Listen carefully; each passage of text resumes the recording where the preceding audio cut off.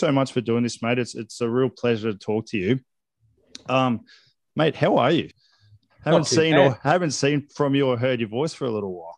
Yeah, well, I'm really good now that uh, you've finally made contact with me. I'm thinking, gee, what's it going to take for, uh, for the great Duncan to to get in touch with me? Yeah, but uh, no, uh, just joking.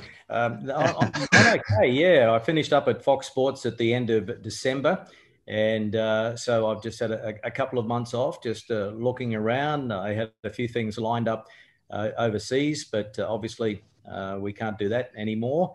So I've just been uh, reflecting on what was a, a, great stint, a great knock at Fox Sports, trying to help out wherever I can. Uh, if people come to me looking for a little bit of advice or, uh, you know, I'm, I'm, talking to people about all sorts of things. But uh, yeah, the, the months are flying by and enjoying the, the rugby that's on at the moment. Yeah, it's frustrating not being part of it all, I guess. But uh, you have to just keep remembering that I did have a very good knock. I have no regrets whatsoever. And so I'm just sort of uh, relying on uh, past deeds, really.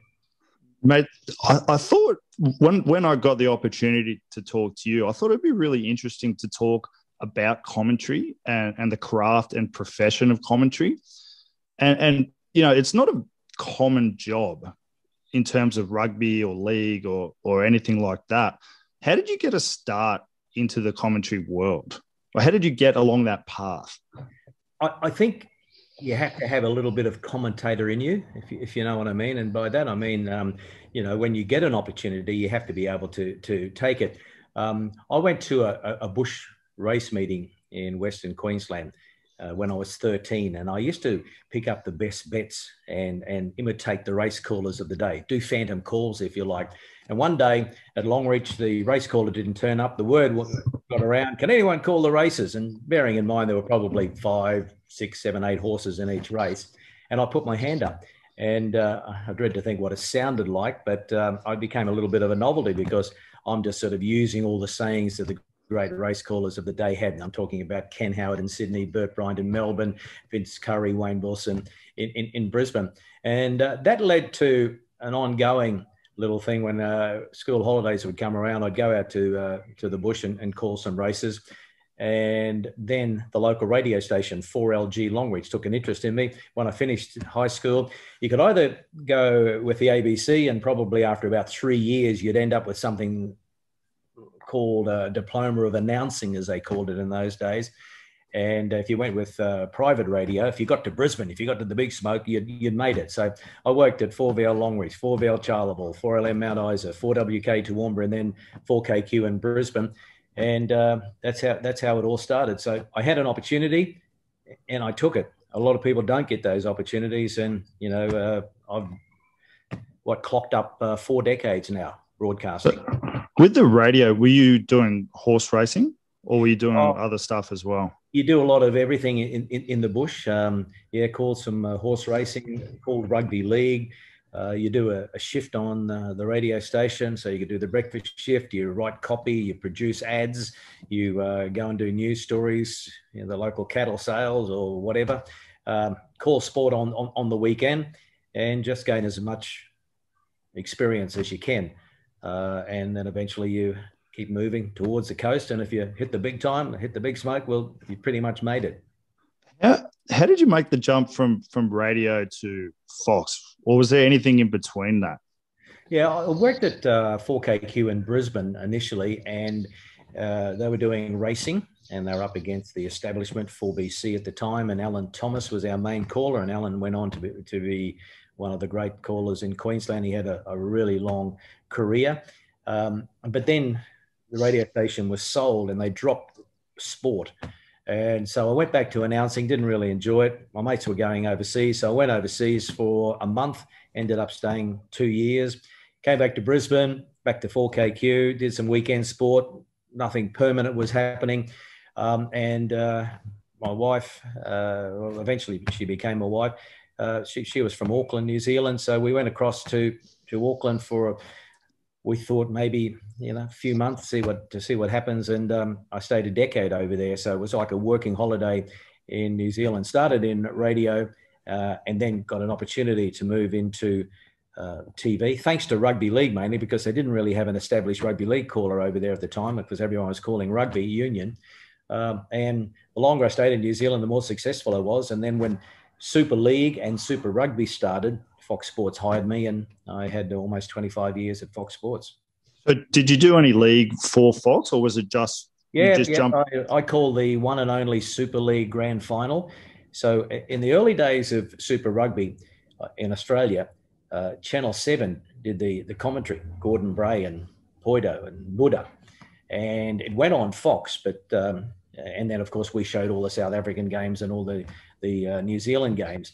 So whatever rugby we did in those early years uh, that I was at Fox, I did that. You know, shows. Uh, I think we did the uh, World Under Twenty One Championships and so on. Did the '99 World Cup, but at the same time I was doing rugby league, and I was at the time uh, they used to uh, call me the, the number one league caller at uh, the senior league caller at, at Fox, if you like. Uh, but I had to make a decision. And then around about 2001, uh, we took over the commentary of Super Rugby in Australia from Channel 7. And that's when I went down the rugby path. And okay. didn't really look back. It was, so it was uh, an opportunity I, I could have stuck with league. But in the end, I went with rugby, and the rest is history pretty much. 213 test matches, 20 years of uh, Super Rugby. So, yeah, as I said earlier on, I can't complain. It was a great knock. Um, do you have a background in rugby, or is your background more in league? I played rugby at school in Queensland. At the time, everyone played uh, played league, but um, occasionally there were there were some um, small rugby comps, sort of like knockout comps, and uh, I played rugby. When I went to uh, to Brisbane before KQ, I I, uh, I played some rugby. When I went overseas to England for two years, I played some social rugby. London Irish used to have a team. We weren't allowed to kick the ball, so it was you know go out and throw the ball around, have a have a bit of fun. And uh, we played in various tens tournaments around the, the UK, socially, mind you. And uh, and I, I came back to, to Brisbane, and a mate was playing for one of the, the sub districts teams, and I played uh, centre. Uh, made the Queensland sub districts team. So whenever I do any uh, after dinner speaking or if I was ever on stage with the great George Gregan or Phil Kearns or Tim Horan, uh, I would always put our caps together. There were always so many test caps, there were always, always so many Super Rugby caps, and there were two caps for Queensland sub districts. And it always got a bit of a laugh because people knew who it was. But um, people said to me, I could have been anything, but uh, I was born a broadcaster, and that's the that's that's the uh, the career I chose ahead of rugby. And to be honest, probably a better career at the moment. How? What's the week like for you guys? Did did you at the start were you going to games, or do they have it in Sydney and you're just in a studio? How, how does it all work? Well, uh, in, in uh, normal times, so out, out in, in COVID, yeah. pre-COVID, yeah. pre pre-COVID, yeah, at the ground all, all the time. Monday would be a, a, review. We'd all get together and re- review the, the weekend, bearing in mind there was probably a midweek show as well that we had to uh, prepare for. Um, and it's, it's not 12, 8, 10 hours a day. It's basically um, keeping an eye on, on, on everything. You have to be aware of what, what's going on. Personally, uh, I can't wait for the teams to be announced. You know, I really don't settle into to my week until I've actually written the names down. And and I'm a little old school because uh, I, I, use a manila folder, a print broker made of mine, do it up one to 23. And uh, I just can't wait to get those names down. And then after that, you start filling it in. Notes about the player. Um, Fox Sports now have a, very good stats department. Uh, back in the early days, you'd keep all the stats yourself, but now it's all computerized and someone is supplying you with a match pack. Um, but you just sort of go along to training, just uh, be aware of uh, picking up little snippets that, that viewers might might want. Uh, and, and I'm very big on preparation. And my advice to young guys wanting to get into uh, broadcasting, sports broadcasting, is you know preparation is the key.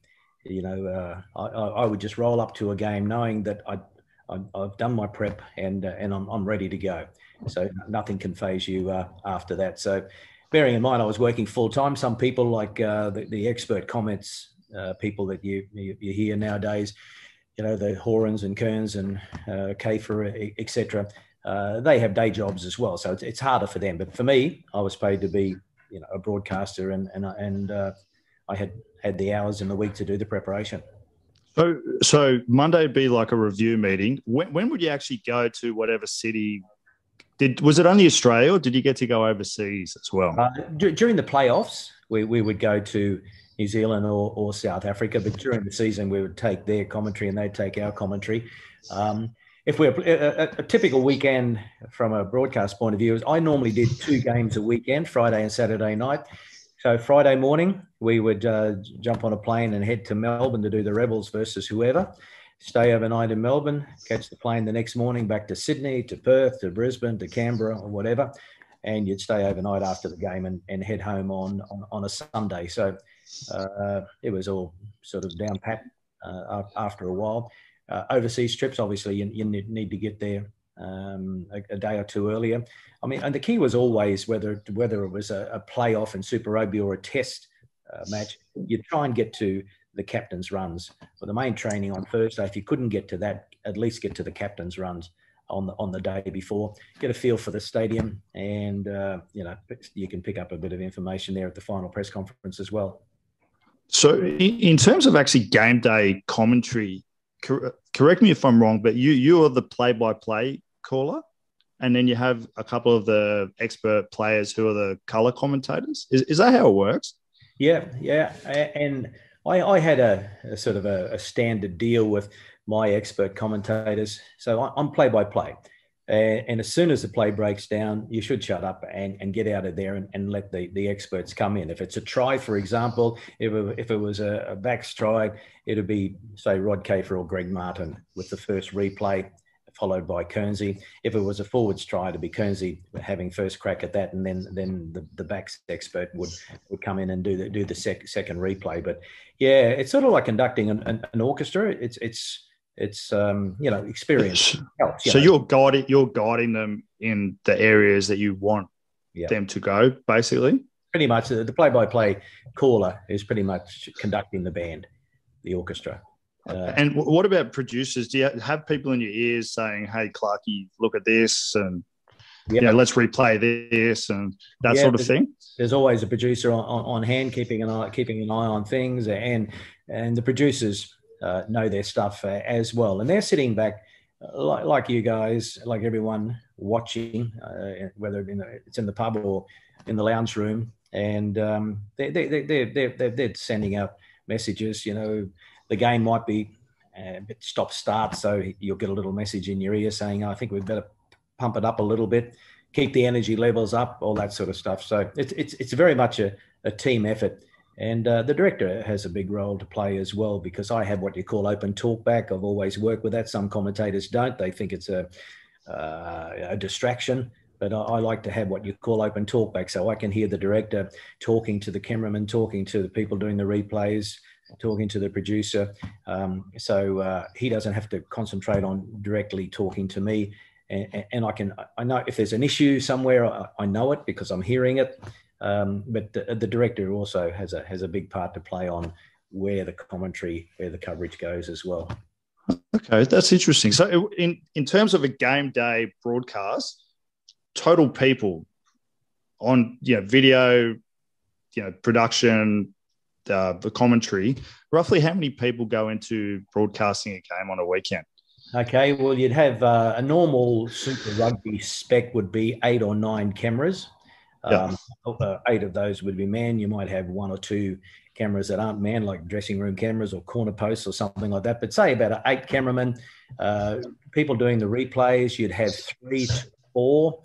Uh, you'll have a producer, you'll have a director, you'll have a director's assistant, you'll have a, normally a vision switcher. So when the director's saying take camera four, take camera two, go to one, go to three, someone's actually switching those sitting beside the, the director. Uh, a floor manager who's controlling things on the sideline, telling uh, teams when they can come out, uh, grabbing people for interviews at halftime or, or, or at full time. And then you've got the uh, sound man in the booth in the OB truck. Uh, you've also got sound assistants on the sideline because we've got people on the sideline doing interviews. And uh, you'll have for some sound assistants upstairs in the commentary box. You'll have uh, technicians controlling things making sure the picture looks good in the truck, and then other technicians floating around in case a you know a camera breaks down or a video uh, machine breaks down or whatever. So uh, yeah, it's a it's a cast of thousands. It's a big production, and that's just uh, how, how it is. Day in, day out probably a bit nerdy question, but I'm, I'm, interested by this stuff, so so bear with me. But would they fly guys? Uh, say you would go two games. Would the, would the whole crew go with you as well, or was there there crews in the town that you were at? No, there's there's there's a core crew.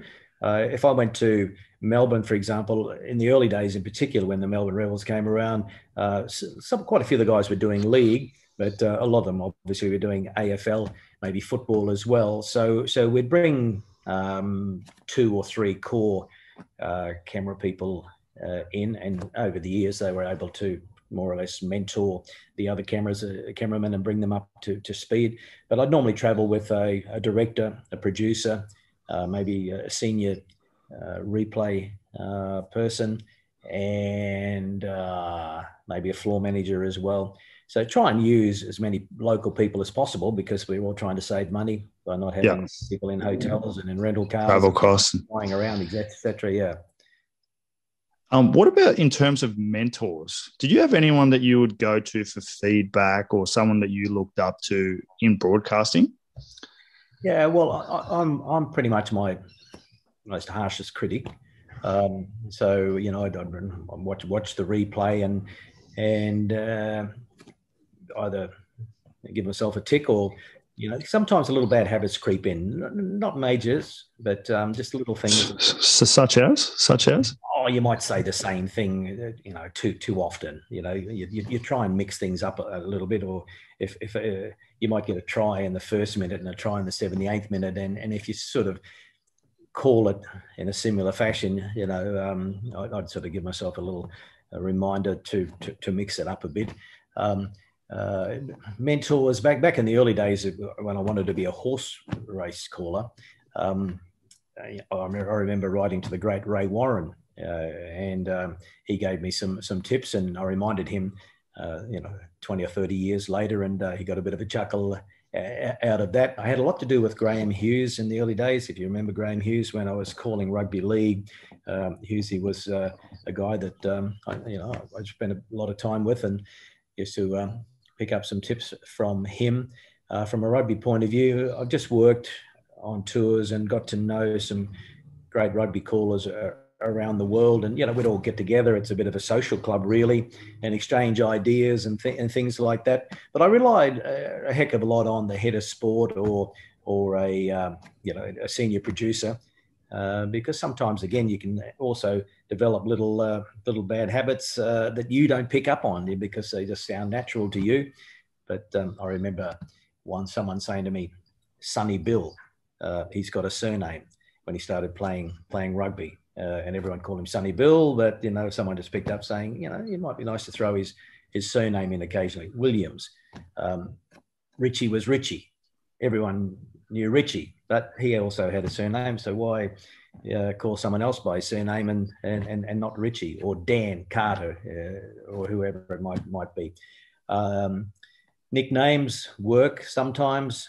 Um, you know, sometimes maybe uh, you can you can overdo nicknames. You know, it's Michael Hooper rather than Hoops, or it's Adam Ashley Cooper rather than Coops, and and so it goes on. So, yeah, I've been lucky uh, throughout my career.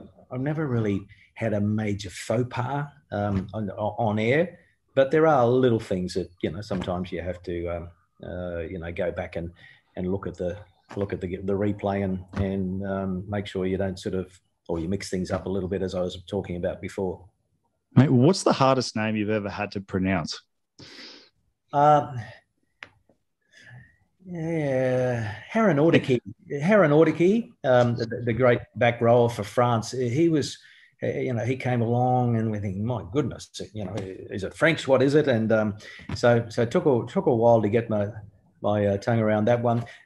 Currently, Nawaqanitawase, people struggle with that, but it's one of the easiest names. And I found once you once you master the Fijian names and break, break them down phonetically, Tangi Thakambau, you know, Valvanambutha, uh, they, they, they all run smoothly smoothly off your tongue.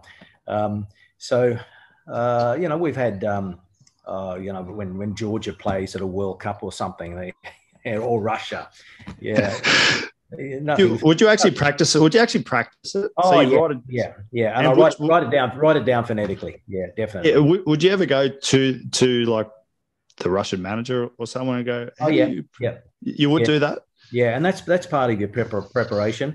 Um, yeah, the, the, the, big thing back back in the early days when when even a, a, a, media manager would travel with a with a foreign team and didn't have a great command of the um, English language, they've all got a either a high commission or a um, uh, a consulate um, in in Australia, um, and so um, you know, or an embassy. So so you you could put a phone call through there, and you'd always get someone that could um, could help you out. Uh, but now most of the media managers and, and most of the teams travel with, um, you know, an English pronunciation guide. So yeah, uh, it's all about all about preparation, and and it just just uh, makes for a for a uh, you know it's fun when when you when you see these long names and and you nail them. Uh, and and you know some of some of my uh, colleagues have uh, had some major clangers over, over the years. I can't really remember anything, but you can imagine Kearnsy not quite getting his around Fijian names, uh, names. So uh, Japanese also uh, is, is, very easy, but people get freaked out by the Japanese names. But you know, Takakawa is Takakawa. It's you know break it up phonetically, and and and it's it's very easy. I guess that's the great thing about rugby is that you've, you know, in any game you can have Georgians, Russians, French, you know, and and you don't really get that in too many other games. So it just adds a little bit of color to rugby. I think. Yeah, yeah, and I mean it's it's a it's a world game. Uh, let, us face it, and uh, and and it makes it a lot of fun. You know, when uh, for example, when Georgia plays uh, the Wallabies at, at, a, at, a, Rugby World Cup, the Wallabies are expected to win, but you know I put so much effort into the to the Georgian team, making sure that I've got uh, you know the names sussed and, um, and, and I know a lot about the, these players. So you spend a, a, lot of time on the opposition more so than on on the Wallabies because we get to know the Wallabies and people at home pretty much know them as well. So um, that's always a, a lot of fun to put the preparation in and, and get through the job. And someone once told me that you know if someone's got a surname, make an effort you know, uh, I think um, in in rugby league there was a lot of flack in recent years uh, where you know the commentators were not really trying with the with the Polynesian names, for for example. So, um, but that that's that's uh, improved now. And uh, yeah, if someone's got a surname, but at least at least make an effort. And there's another thing, a little tip in in broadcasting: say it with conviction, because if you make it sound right, you know, most people wouldn't know the difference apart from the player's mother or father or family or friends. So, uh, yeah, whenever in doubt, say it with conviction. Think you could use that in every aspect of life, to be honest. Mate, I won't keep you too much longer. I'm really grateful for your time. Just a couple of random questions for you. Favorite touring location? Have you got anywhere that you really, really enjoyed going? Oh yeah, the UK is special, and and I, we had a wonderful seven weeks during the 2015 Rugby World Cup, and you know, Ireland's a great destination. I, I love I love France. Um, well, I should start by saying that, that, I've really had no bad times around the rugby world. South Africa is wonderful. Uh, they're so much like us, but you've got the animals, you've got the uh, the golf courses, you know, you've got you've got the coast and uh, you've got rugby and you've got people who really appreciate the appreciate the game and and socially they're very good as well. Uh, you're always invited to a braai, a barbecue, um, wonderful times in uh, places like um, Argentina. Uh, I've been to Punta del Este in Uruguay for, for sevens. That, that, that, that was amazing. Mar del Plata in Argentina, Mendoza, Buenos Aires. Uh, yeah, it's it's one of the you know you just got to be grateful that, that, that, it's, it's a world game and if you had a job like mine it was just amazing to to travel around and during the uh, covid lockdown i was asked by fox to uh, put out a photo every day if i could and um, and just to you know keep keep a bit of social media thing going. And, and i look back on my photos and i just um, you know uh, uh, was amazed from 2006 when we started doing test match calls. Some some of the photos, some of the countries, some of the people I met were amazing. There's Nelson Mandela, for example. You know, uh, Jonah Lomu. Spent some time with Jonah on the speaking circuit, and so it goes on with some some some wonderful people and some wonderful memories. So I'll say it again: no regrets whatsoever. Am I finished? No, I'd like to keep going because uh, I know I can contribute a little bit more, but you know, there's probably one one job in uh, in Australia, and at the moment uh, I don't have it. So we'll just see what the, what the future holds. Mate, uh, in terms of players, who's the best player you think you've ever seen? Is there anyone that stands out? Uh, I've been asked this quite a bit, you know, because I've had a few milestones 150 test matches, 200 tests, and 20 years of calling Super Rugby. And the guy I, I always come back to is, is George Smith. You know, I thought you'd say that. Yeah, you know, he just started out as a sort of 19, 18, 19 year old, and, and you knew straight away that this guy had had something special. But for a back rower, he, he could kick, he could chase. Um, you know, he's so good over the ball, obviously as a as a fetcher. Um, but we saw him do some some amazing things, and and and I guess I lean towards him because of longevity. He was around for for such a long time, and such a humble human being as well. So um, I, I, I, just really enjoyed um, calling George over all, all, those years, and just I was in awe of uh, some of the skills he, he displayed as a back rower.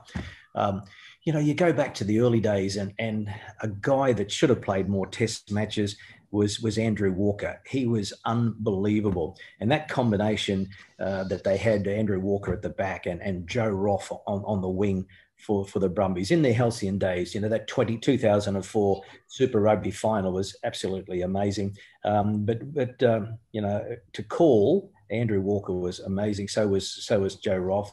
Um, overseas players, you know, Jonny was always great to call because Jonny Wilkinson, because he was um, so so dominant in that in that England team at, at, the time, and we all know that he pulled off a few uh, match-winning feats as well. Um, Brian O'Driscoll was always great, great to call. Um, yeah, the, the list goes on really. But if I had to settle on someone, it was it was George. I put him I put him ahead of uh, Richie McCaw because he definitely had more skills than than, than Richie McCaw, and um, yeah, he's my man.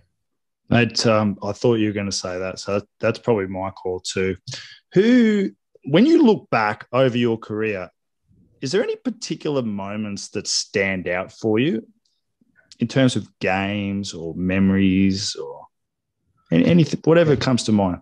I, I, don't have one one highlight. I have quite a few highlights, and um, I always loved the Wallabies beating the All Blacks. Unfortunately, uh, over those years calling Test matches, I never called one Bledisloe Cup winning series for the Wallabies. I never called the Wallabies beating the All Blacks on New Zealand soil. And remember, I was calling from 2006 through to 2020. So it just goes to show how dominant the All Blacks have been over that, what, 16 years or 14 years or whatever it is.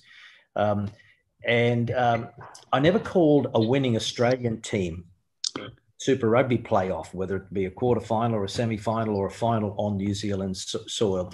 So uh, they're the disappointments, but the, the highlights 2001, we finally had an Australian team win Super Rugby, um, and and that was the the uh, the Brumbies over the Sharks. wasn't a classic match, but job done. Finally, an Australian team were uh, crowned Super Rugby champions. And then 2004, that match I spoke about earlier on, the the, the Tri Fest two teams just throwing the ball around and, and going hell for leather, and the, the, Brumbies triumphant over the over the Crusaders. 2011 was a very special year, and the win by the by the uh, Reds over the Crusaders just kept what was an amazing ride, and the, uh, pretty much, you know. People loved their, their own teams, but that year people got on board with the Reds because they were just playing a wonderful brand of rugby entertainment. Um, I still think it's uh, right up there with some of the highest ratings that the uh, that Fox Sports have had over the years, that 2011 uh, final. And uh, 2015, at long last, the, the, the Waratahs and, Bernard Foley, the Iceman, had to kick the penalty at the end to, to, do it. But it wasn't just the final. That just capped off an amazing run under Michael Cheika's coaching that, that year. Uh, and, and they got through. So I, I remember the uh, the great Wallaby wins, you know, and there have been plenty over the over the All Blacks. Remember Radike Samo running away and scoring that try at um, at, at uh, Suncorp Stadium. Uh, that was a great win over the over the uh, All Blacks. We beat them in, in Melbourne back in around about 2007, I think it was. It was a wonderful occasion, and so it goes on. Uh, I've worked at every Rugby World Cup, so that you know that great memories there. Not I haven't called it all of them, but I've had a position at uh, every Rugby World Cup, so I'm very proud and privileged to to to say that and also um, that that that run of uh, the Wallabies in 2015. I was at Twickenham in front of 80,000. Not that I was playing; I was part of 80,000, I should say. Uh, and that was our home ground. Home ground. We had five Saturdays in a row leading up to the final. We had the narrow escape against uh, Scotland. Uh, in the quarter final and beat Argentina in the semi final. And, you know, we were in the final for a long time with the, the, the All Blacks, but just couldn't go the, the, the distance. But uh, I'll always re- remember that. And, um, you know, I've called three World Cup finals now special moments. Amazing. Yeah, Australia only in one of them, but it, uh, it was a special, uh, special treat to not only be at the World Cup working, but to actually call finals as well. I've got two more. Have you got time for two more questions? And yeah. hopefully, hopefully, well, sure. I just don't want to bore you and bore no, the. Mate, I'm, mate, I'm, I'm loving it. I'm, I'm loving it. Who? How do you view Australian rugby at the moment? And that's possibly a very long-winded question, but what are your thoughts? Well, no, I'm not. I'm not happy with it. You know, we saw last year uh, when we had the Tri Nations after South African pulled out. It was in the, the Rugby Championship, so we had opportunities to to win games there, and ended up with uh, with you know drawing um, three three games, one against New Zealand and two against uh, Argentina, and um, you know we had we had this this thing where we're throwing these young guys in, and yes, they are they are the future, but you know we, we we've we've thrown too many of them into the deep end. I, I believe, and, and subsequently we're not getting the we're not getting the results. Um, you talk to anyone, even uh, Dave Rennie, uh, publicly, you probably won't say it like this, but privately, I, I do know that uh, he was disappointed in the skill level at some of the players when they got into uh, into a, a, Wallaby camp, um, where you know New Zealand, I think New Zealand and South Africa um, develop their skills a, lot a lot earlier than than us. And you just have to compare New Zealand rugby at the moment, what we're seeing on Friday and Saturday night, the five o'clock game out of New out of New Zealand. The skill level there is is, is higher than what we're seeing out of the the Australian teams. Um, and, and, we've put so much faith in the uh, the young guys, the Waratahs at the moment. It's not paying off for them. I think the other teams have been a bit more careful and they haven't sort of flooded their team with all the 20 year olds, 21 year olds. But Australian rugby at the moment on the field, uh, the results are not great. And, and in, in Australia, rugby is results driven. As I said before, over over that period when I was calling test test matches and, and Super Rugby, we, we won four Super Rugby titles out of something like 25 years. You know, it's not great for a, for a nation like Australia.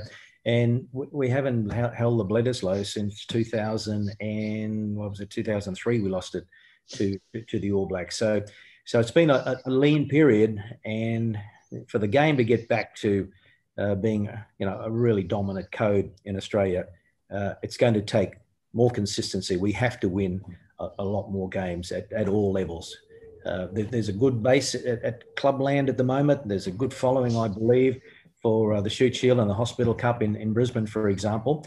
Um, we have to somehow try and you know get that out on, on television more than what we have been doing. But um, overall, uh, there's a there's a long way to go. And from an administrative point of view, well, obviously, uh, COVID didn't help either. But already prior to that, uh, you know, the code was almost broke. So people like Rob Clarke and Hamish McLennan have done a good job to borrow some money from World Rugby to keep it afloat, to get those test matches uh, uh, completed last year. I know they're hanging out for the French tour this year. Uh, hopefully, COVID won't restrict that, and the French will be able to come down and we'll get three uh, test matches in, in July against France. Bloody good team at the moment, by the way. It'll be a great series. Um, Absolutely. But, but we need we need you know 100 percent crowds by by then, and hopefully we're heading in that direction. Um, but and that but that that'll sort of fill the coffers a little bit, and then we can go into uh, a Bledisloe Cup and and the Rugby Championship again, and and hopefully by the by the end of the year, you know, the game will be in uh, a better state financially. But yeah, pro- problems ahead, and if we can just keep keep winning or you know be be more consistent with our performances, uh, that's going to help in the long run or the short term. Oh, totally agree. I, I, was speaking to Jake Gordon yesterday, and he said to me, "Think of this: in Sydney, you've got ten league teams, two AFL teams, number of cricket teams, soccer teams, and the sevens team. So if if you're losing, there's plenty of other teams that they can support." And if you think about any other sporting market in the world, apart from maybe Melbourne, they don't really have that. Yeah. So that's a bit of, bit of a unique challenge in a way as well.